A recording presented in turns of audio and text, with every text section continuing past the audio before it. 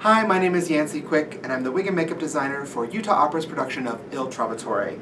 Today I'm going to be showing you how to build a wig, and I'm going to be building it for Michael Chioldi, who's playing Count di Luna in our production. Um, we are going to wrap your head, Mr. Chioldi, and we're going to take a little tracing of it. Will you stick some fingers right there for Yeah. me?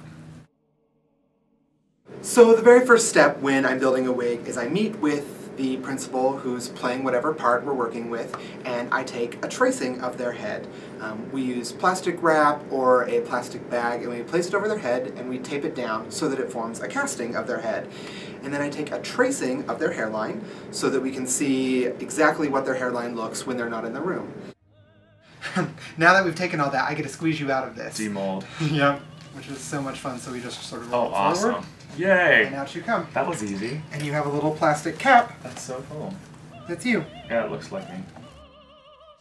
Then I lay down what's called foundation lace, or wig lace, or opera lace, depending on who you ask. Uh, and I attach that to the base wig um, so that it's all one piece. And then I begin to ventilate the hair, or tie in the hair to that lace. It's a very fine lace, so you don't see it on stage or in photos, and it looks very natural. And I ventilate the hair one, two, or three hairs at a time through the whole front of the wig.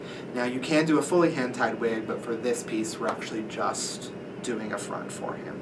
Um, and I use that tracing that I made to guide me on what his hairline should look like.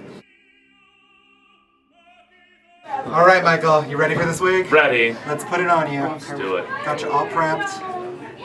Slip it right on there. And look, it's like it's growing right out of your head. How do you feel about that placement?